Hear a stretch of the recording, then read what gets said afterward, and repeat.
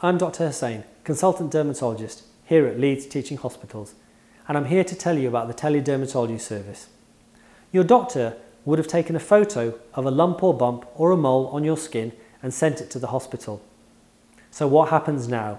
Well, we will receive that referral and it will be seen by a consultant dermatologist, a specialist in the skin, to try and make a diagnosis. If when we look at the picture, we're confident that it is a harmless growth and you don't need to make that trip to hospital to be seen, we will send you a letter which you should receive within about 10 days. That will give you a diagnosis and also some general sun care and skin advice. We will copy that letter to your GP so your GP records are kept fully up to date. Just because you're asked to come to hospital, please don't be alarmed.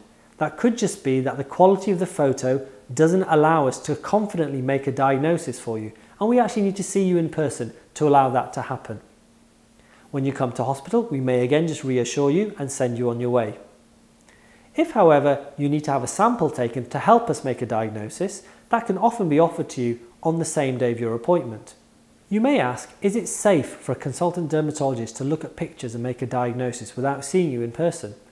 This teledermatology service is actually in use up and down the UK and I'm able to reassure you that it is a very safe and efficient way of providing good care to you, our patients. I want to reassure you that everybody who will be looking at your photos are highly trained consultant dermatologists who specialise in the diagnosis of skin.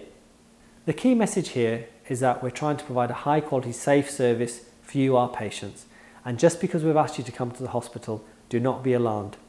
We look forward to providing you with an excellent service here at Leeds Teaching Hospitals.